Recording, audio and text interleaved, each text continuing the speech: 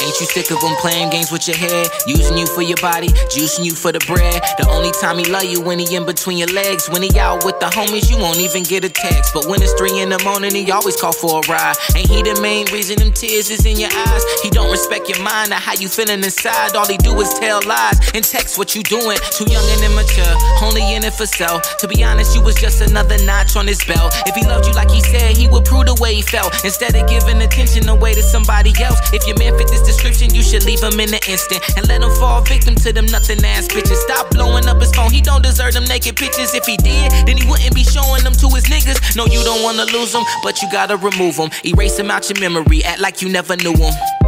These are some signs that you can avoid to prevent yourself from falling for these little fuck boys. He a fuck boy. Tell that nigga he a fuck boy. Stop falling for these fuck boys.